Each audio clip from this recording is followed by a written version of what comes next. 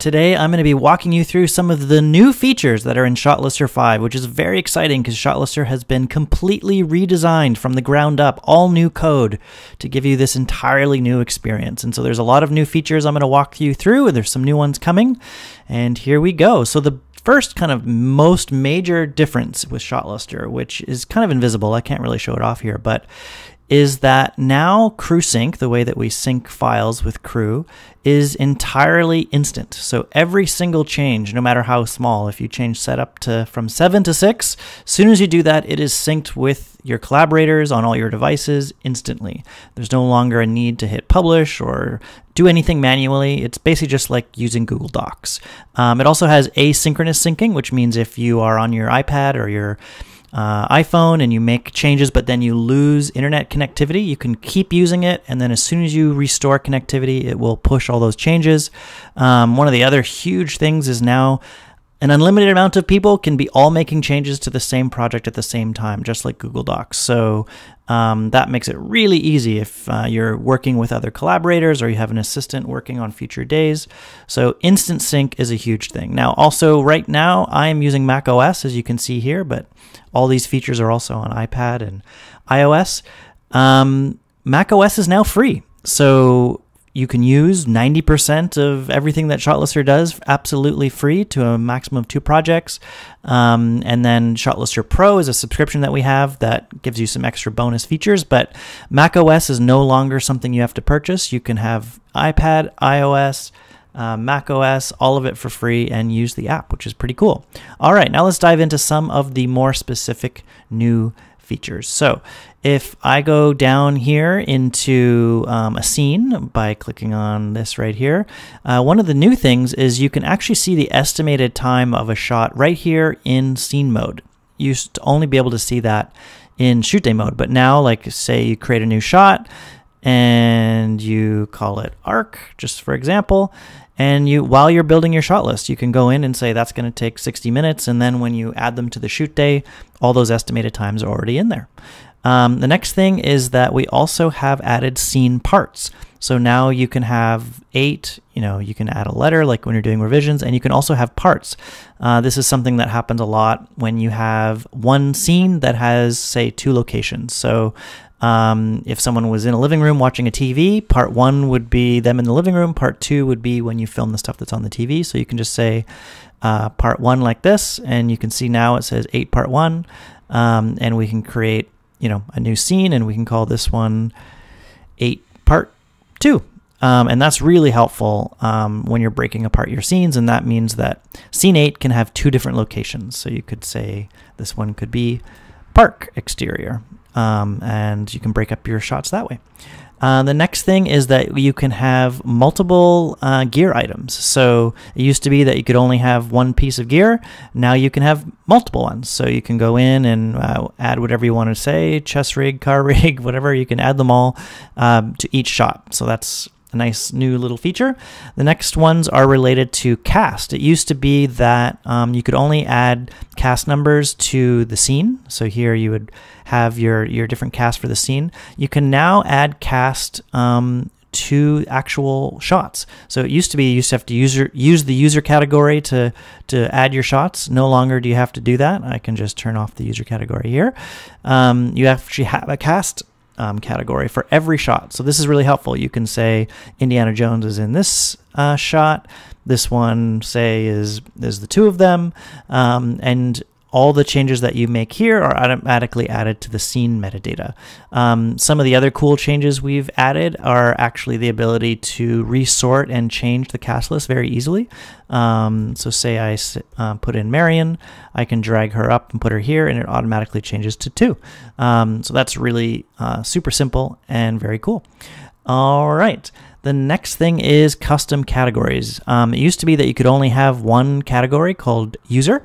Now you can create as many as you want, um, and they're a lot more um, flexible. So you could create a category and it can just be an empty text field, or it can be a number, or you can even create your own toggles. So an example would be, let's call this, um, what should we do? Let's sometimes I create a toggle called kids, which helps me know if there's a kid in the shot. Um, and then if you click here, you can pick your own icon. So you can just pick whatever you think looks good. I might put an exclamation mark and hit save.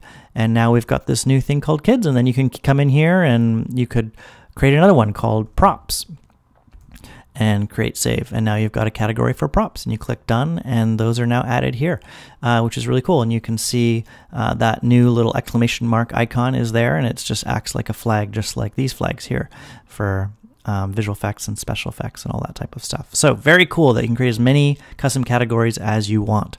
Uh, one of the other new features, which was highly requested, is that you can't do it on macOS, but on iOS and iPad, if you click the storyboard icon, you can also now draw. So you can use your pen and draw storyboards right within the app, which is really cool. Now heading over to shoot days. Um, one of the biggest requested features was the ability to um, automatically detect the sunrise and sunset times of scenes, not having to put them in yourself. So if I create a new shoot day here um, and I uh, pick a date, I can now add a location. So for example, I'm recording this in Vancouver, so I'll just say Vancouver. It knows the date, um, where you are, and it automatically, you can now see these are grayed out. That's because it's automatically figured out what the sunrise and sunset times are so you don't have to do any of that looking up anymore, which is very cool. You also now notice these pin icons. What are those? Um, well, we've added a big new feature, which is the ability to create notes within shoot days that don't move when the rest of the day is shooting. So if I create a um, sunrise and I can pin lunchtime, for example, and now if I open this shoot day, um, you will see a few things here. You'll see the sunrise is already in there, and there's this little pin icon, and lunch is set at 1 p.m. And so now as I, you know, add a few things to this, um, I'm going to add a few shots here to this day.